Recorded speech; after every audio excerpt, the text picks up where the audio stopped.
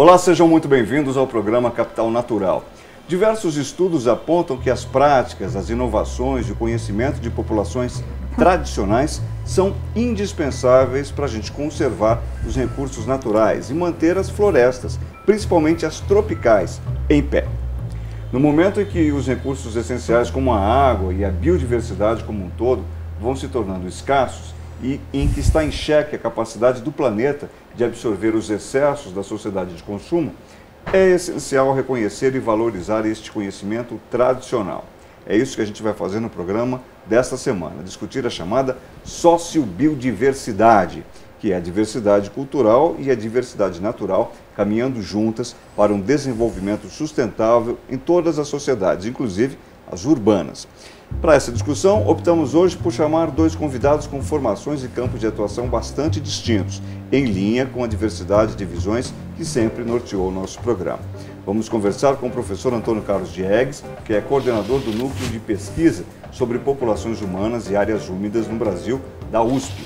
É autor de Mito Moderno da Natureza Intocada, entre outros livros. Conversamos também com a educadora e documentarista Renata Meirelles, idealizadora e coordenadora do projeto Território do Brincar, que tem a missão de registrar e promover um debate sobre a cultura da infância e a relação da criança com a natureza e a sua cultura nas mais diversas comunidades brasileiras. Prazer ter vocês dois com a gente aqui no Capital Natural. Eu fiquei fascinado com a ideia do território do brincar, Renata, porque me parece que você indo lá, como é, é, é sempre a sua atuação, ver as crianças brincando, é, ou seja, eu imagino você atuando dessa forma e, de outro lado, isso ajudando a preservar a, a biodiversidade, ajudando na preservação ambiental. Eu queria que você, em poucas palavras, contasse para a gente que ponte é essa que você consegue fazer e que a gente até, em certa medida, acaba fazendo junto com você. Uma criança brincando e um mundo mais preservado.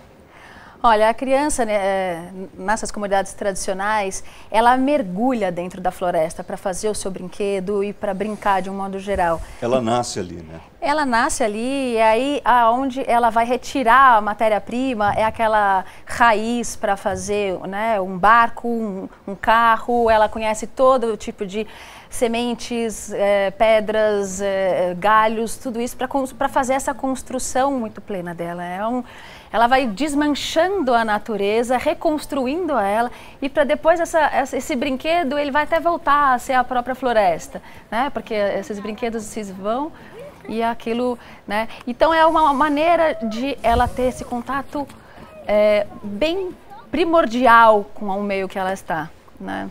Eu adotei a expressão aqui nos meus estudos, né? Fiquei aqui é, pesquisando para esse nosso trabalho, essa nossa entrevista, e na minha cabeça ficou é, a ideia da atividade essencial, da brincadeira essencial, da cultura essencial, professor. Eu estou errado ou está em linha com isso? Aquilo essencial no sentido que vem da essência do ser humano, no sentido de se preservar ele próprio, preservando a natureza. Está um pouco, tô, meu caminho está muito certo, muito errado, como é que está?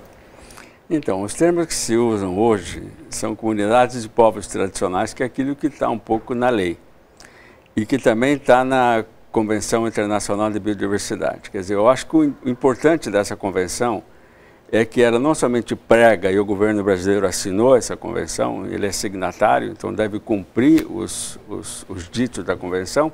Essa convenção valoriza não somente a biodiversidade, a diversidade biológica, mas a diversidade cultural, através do conhecimento tradicional. Quer dizer, pela primeira vez nós vemos um documento internacional esse conhecimento e práticas tradicionais sendo reconhecida como um patrimônio nacional e internacional. E eu acho que isso é fundamental, apesar de que, no caso brasileiro, isso acaba sendo só um discurso, porque as políticas públicas não levam a isso. Eu até queria mencionar que, se não fosse o deputado Fernando Gabeira, que foi um dos iniciadores desse programa, nós sequer teríamos o nome de comunidades e povos tradicionais no Sistema Nacional de, de Unidade de Conservação. Tal é a ojeriza que tem a elite e o próprio governo da presença dessas comunidades que, como ela disse, conhecem a mata pela simples razão que viveram lá, vivem lá e suas práticas cotidianas se relacionam com a mata e com o mar. Então, é, ou a gente faz uma conservação da biodiversidade que seja mais democrática, aceitando a presença dessas populações e comunidades que utilizam muito pouco das terras. Para ter uma ideia, dos chamados pontos altos da conservação no Brasil, que é uma centena mais ou menos, 70 dessas áreas são habitadas por comunidades e povos tradicionais. Então, existe alguma razão da existência da floresta e da presença dessas comunidades. Ora, o governo simplesmente ignora essa contribuição. Então, eu acho que está na hora de a gente repensar a conservação, para quem é a conservação, é, para que, que ela serve, se nós estamos de fato conservando, e aquilo que você falou é totalmente correto. Quer dizer, se a gente não conseguir respeitar a diversidade cultural, tampouco vai respeitar a diversidade biológica, porque as duas coisas estão historicamente interligadas. Então, acho que o trabalho que ela faz é interessante porque mostra que essas comunidades têm um conhecimento profundo da mata. E isso é hoje reconhecido pela academia, pela universidade de onde eu venho. Né? Mas, infelizmente, isso não é ainda a prática brasileira no, nesse aspecto. Professor, só para a gente ilustrar um pouco mais isso, exemplifica para a gente, por favor, de que comunidades a gente está falando, que, uhum.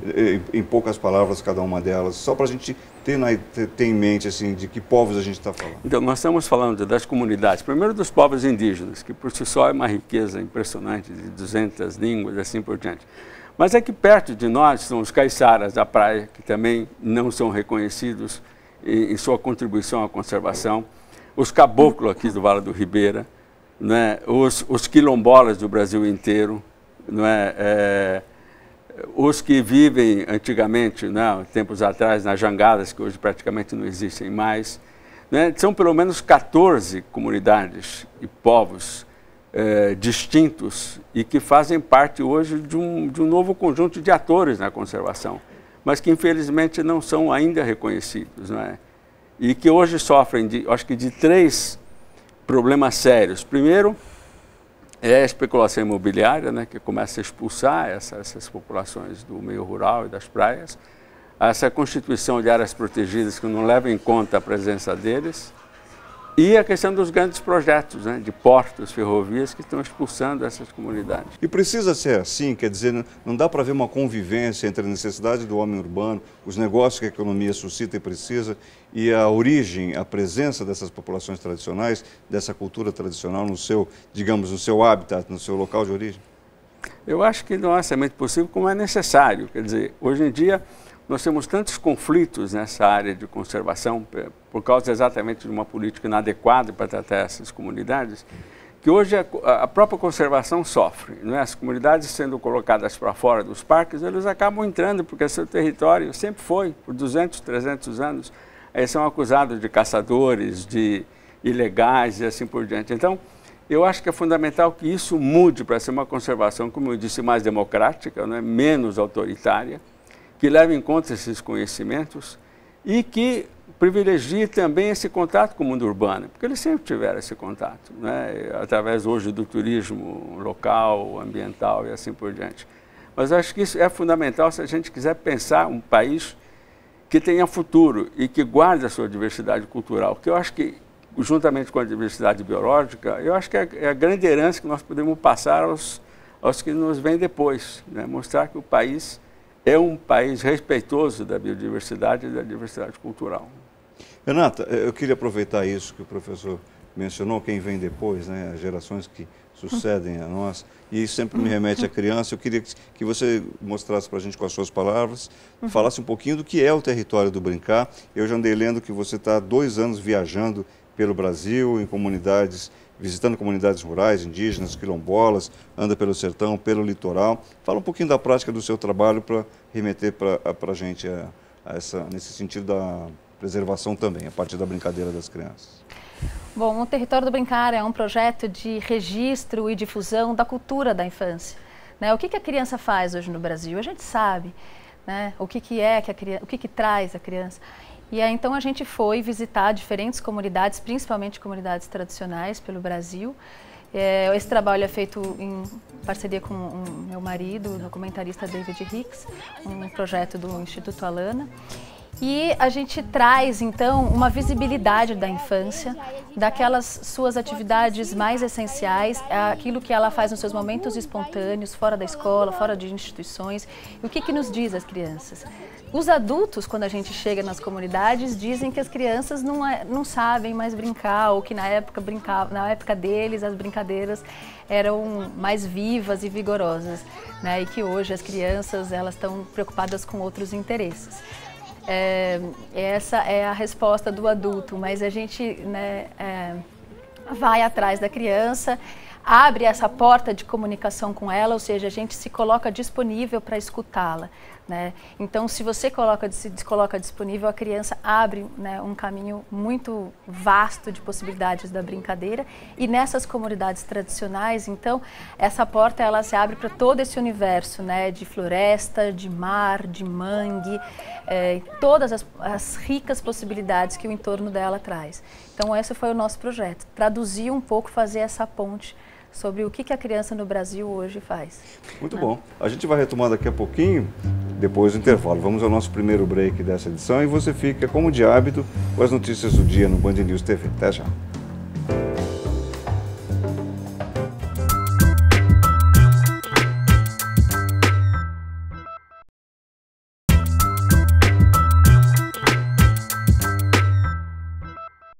Estamos de volta com o programa Capital Natural, esta semana falando sobre a chamada sociobiodiversidade, um conceito que é relativamente recente, entrou realmente na pauta de discussões mundiais com a Convenção sobre a Diversidade Biológica da ONU, realizada em 92 na ECO 92, no Rio de Janeiro.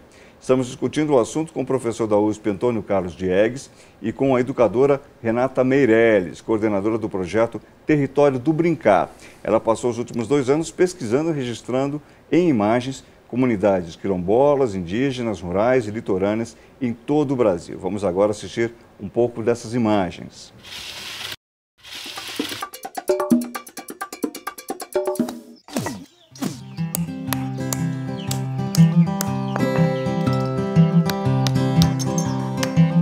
Não sei não, eu já vi o povo rodando esse corrupio, mas não sei fazer não.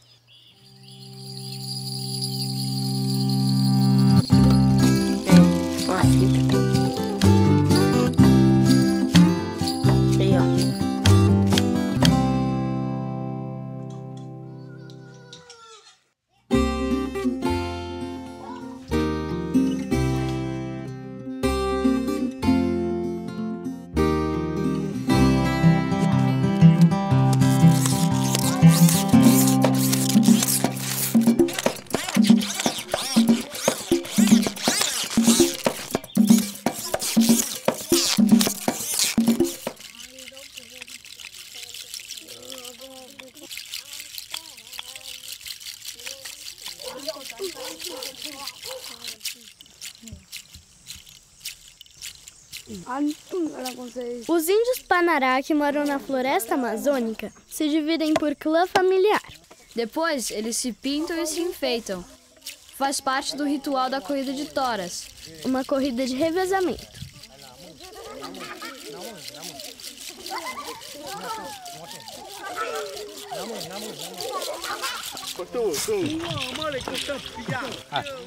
Tá, e a companhia.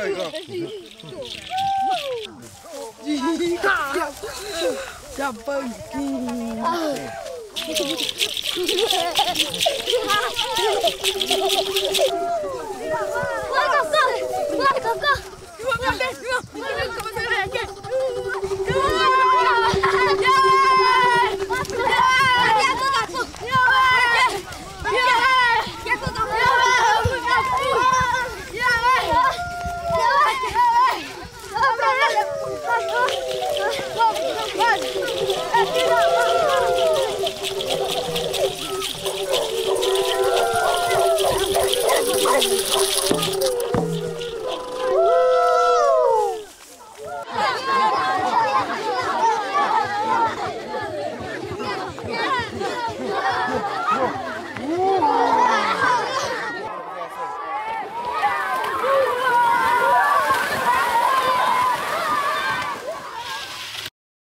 Professor, eu queria pegar um aspecto aqui com o senhor. O senhor é autor do livro Mito Moderno da Natureza Intocada. Queria que o senhor nos expressasse em poucas palavras o que seria esse mito, o que está condensado na sua obra.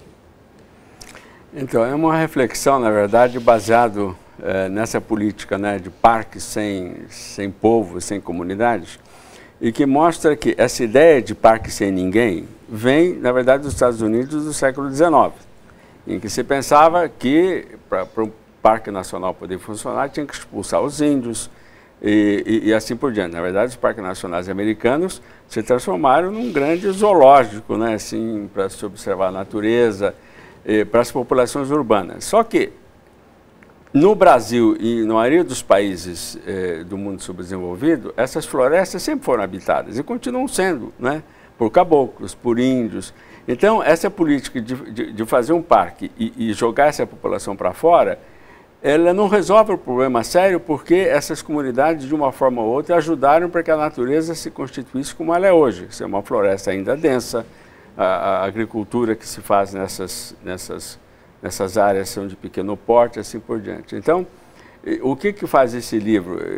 Já está na oitava edição, deu muito debate, né, porque ele se contrapôs a um preservacionismo exatamente que dizia que parque não pode ter ninguém, eu dizia que não, que as comunidades são importantes, que elas conhecem, e nós conhecemos menos que elas, na verdade. E esse debate continua, infelizmente, até hoje, né? e, e que, na verdade, não resulta nem em benefício da biodiversidade, nem da cultura, porque é um conflito direto. Qualquer parque, hoje, nós fizemos um estudo no Brasil, 70% a 80% dos parques têm conflitos sérios de populações que não saíram porque, porque o Estado não conseguiu desapropriar, são populações nativas que estão ali há, há, centenas de anos às vezes, não é? E, e, que são obrigadas a sair, na verdade, uma política muito estranha, porque o Estado, ao proibir a roça, ao proibir a caça, ao proibir a pesca, o que, que ele faz? Inviabiliza o modo de vida das comunidades. Então, elas saem porque não conseguem sobreviver.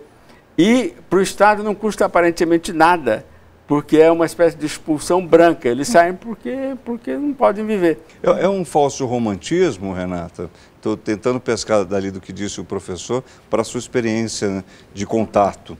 É, esse mito de manter a natureza lá e, a gente cá, é, é, tá, falseando a realidade, um romantismo que não faz sentido?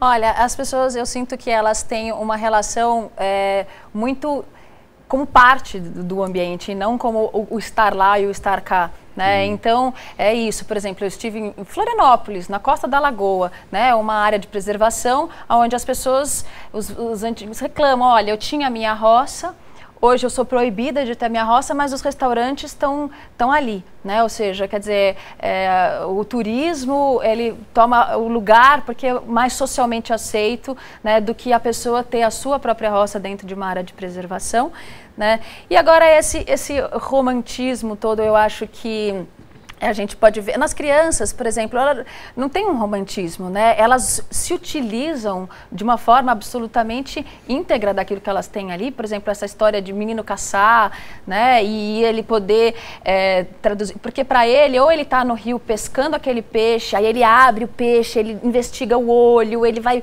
achar os ovos daquele peixe dentro da barriga, ele vai enfiar um peixe pequeno dentro da boca do outro.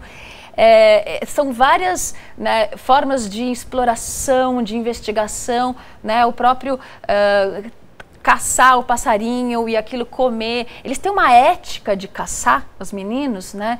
Eles sabem, por exemplo, o quanto o pássaro bonito ou o pássaro que representa a Nossa Senhora, né? São, são éticas que se, que se, uh, que se constrói entre eles é, e que aquilo não, né? Então são sabedorias que se vão passando, quer dizer, não, né, não, não precisa ter essa, essa relação de um romantismo, ou por exemplo, essa visão que a gente tem de que você tirar uma folha de uma árvore, um galho de uma árvore para fazer uma um construção dos brinquedos. Quando eu venho para São Paulo e falo que os meninos estão fazendo isso, eu recebo um, um pá, mas peraí, né? Não pode, a gente não pode incentivar isso, né? É, não pode. Em, em, que prisma, né? A gente está olhando e observando isso, né? Em que foco que isso está sendo observado, né? Quer dizer, como é que é, não vai, se não existir essa, essa relação, né? E as crianças né, que estão aqui, que não podem tirar um, uma folha de uma árvore, elas não têm o mínimo acesso nem a um tatu-bola de, de jardim, né? Uma minhoca, uma lesma, para fazer essa mesma investigação, para se usar disso da mesma forma como um aprendizado do seu, do seu espaço e da vida, né? A criança está investigando a vida nessas relações. Né? É, investigando muito dela própria também ali dentro, se a gente pensar bem. Né? Agora, Deixa... pois não, pode falar. Então, é, eu acho que também a gente precisa ver que quem mora na, na, mata, ou no mar, ou na costa, são seres humanos, é, com todos os nossos defeitos, uhum. é, alguns menores, outros maiores que o nosso, mas você tem razão. Existe uma ética, né? E essa ética de respeito que diz respeito à vizinhança, às vezes é quebrada. Então, de um lado, eu acho que a gente não deve romantizar mesmo, porque são seres humanos, mas eles vivem numa outra cultura, numa outra relação com a natureza e numa outra relação com eles mesmos, né? Quer dizer, ainda hoje você tem, o, depois do que você falou, mutirão, você ainda, algumas comunidades tem o fandango, e eles dançam até madrugada, né? E, com a rabeca, e é uma cultura muito rica. E felizmente no nosso litoral ela começou a voltar, desde o Paraná até é, Paraty. Hoje você encontra vários grupos de fandangos se apresentando. Né? Já não existe mais o mutirão, por quê? Porque não pode fazer agricultura, então não pode fazer colheita. Então o mutirão fica sendo uma, uma atividade ligada aos caiçaras, mas um pouco fora do seu contexto. Né? Uhum. Então a gente pode ver como uma, uma legislação ambiental equivocada acaba né, desorganizando a própria cultura, né? o modo de ver o mundo, o modo de se divertir, o modo de cantar e assim por diante.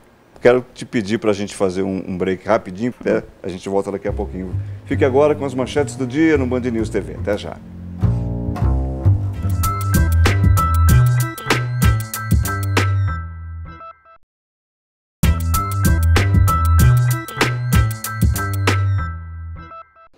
Estamos de volta com o programa Capital Natural. Essa semana continuamos o debate sobre a chamada sociobiodiversidade, a diversidade cultural e a diversidade natural caminhando juntas para um desenvolvimento sustentável em todas as sociedades, inclusive as urbanas.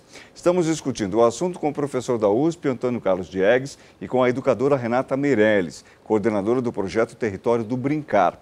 Ela passou os últimos dois anos pesquisando e registrando em imagens comunidades quilombolas, indígenas, rurais e litorâneas de todo o Brasil. Eu queria que o senhor falasse para a gente em, poucas palavras, e se a Renata também quiser comentar, o conceito da etnobiodiversidade. A gente, o senhor pode falar para a gente como é que isso tudo que a gente discutiu aqui se encaixa nesse conceito? Como é que ele também pode ir no sentido dessa preservação? Então, eu, eu, escrevi um livro chamado Etnoconservação, que é o que? A conservação feita através do conhecimento local e com participação das comunidades, que daria um, um outro contexto. Mas etno significa povo. Então, o etnoconhecimento é o conhecimento popular mesmo. E é possível fazer uma conservação até mais sólida do que aquela que a gente faz usando a ciência, usando esse conhecimento tradicional. Eles têm a noção do seu território, né? eles têm a noção das espécies, como conserva como corta a cacheta, como deixa de cortar, entre outras árvores, assim por diante. Então, a etnoconservação, é, como tudo aquilo que, que é precedido pelo sufixo etno, diz respeito a popular, a conhecimento local e assim por diante, que está sendo bastante valorizado nas universidades hoje, mas que o governo ainda não encampou. Ele uhum. prefere a ciência dura uhum. que exige guardas, que exige fiscalização. Eu, eu, duvido que ele confie na população, na verdade. É. Quer dizer, está faltando aí um, um diálogo melhor é. entre. Né? Eu queria exatamente colocar para a Renata como é que se pode melhorar esse diálogo entre os agentes sociais, ou mesmo a sociedade urbana, como a gente a conhece, os poderes constituídos, com as populações dessa cultura tradicional. Por exemplo, a voz das crianças nessas comunidades, ela aflora, ela é ouvida, ela é presenciada e, e se dá atenção, as autoridades dão atenção para, para essa voz, para, esse, para tudo isso que as crianças dessas culturas oferecem? Olha, é, entre eles, né, é, há, um, há um diálogo, mas eu acho que isso expandido né, em nível é, político, enfim, nível, muitas vezes na, na escola e na educação, é, há uma pouca, há uma pouca escuta. Né? Eu acho que é como né, o professor estava dizendo, eu acho a criança ela vai nesse caminho de uma diversidade de saberes, né, e ela tem essa antena ligada e aberta para tudo o que compõe, né? E de um modo geral, ela está recebendo né, uma migração daquilo que era uma sabedoria que se transforma em conhecimento e afunila a informação.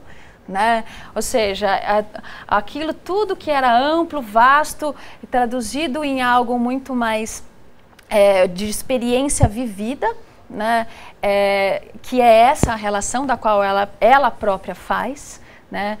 É, isso é, é, vista de uma outra forma, né? quer dizer, então ela vai migrando né, para algo que é a informação e aquilo que vai ser mais pedido a ela, exigido a ela, né? É, e é como ela vai dialogar com o outro. Ou seja, aquilo que ela tem de mais rico, enfim. Então, essa relação é muito difícil de dialogar. Né, é, com, com, as autoridades, elas têm uma outra perspectiva para o mundo infantil.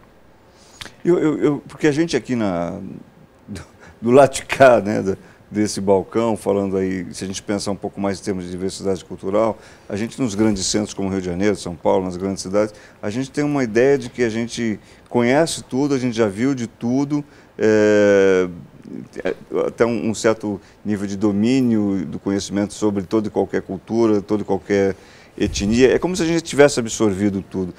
Pelas, pelas suas andanças, muito provavelmente, é, cada coisa que você dá de cara com elas, dessas comunidades, devem te levar à constatação de que é, a gente sabe, na verdade, é muito pouco, né? Tem muito ainda o que visualizar, né?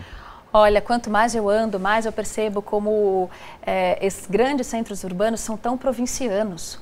Né? Existe uma grande visão de que se sabe tudo, se conhece de tudo, mas se sabe de fora né? Se sabe, se dialoga, se discute, tem opiniões sobre tudo, mas a vivência a experiência é absolutamente provinciana, é absolutamente de uma relação muito é, única, né? Essa talvez essa busca dessa monocultura humana, né? muito própria falando. que isso. Eu tenho participado de muitos congressos e discussões para discutir a infância. Né? Quando a gente vai discutir a infância, existe um único problema na infância, né? que é a tecnologia, que, que são os, as, as acelerações urbanas. Né? A gente só consegue enxergar a criança, aquela que mora no apartamento, aquela que tem um monte de tecnologia. A gente não tem a menor o olhar para o lado de lá né, para o lado de fora. Quer dizer, todas as problemáticas se remetem a uma, a uma forma de se viver a infância.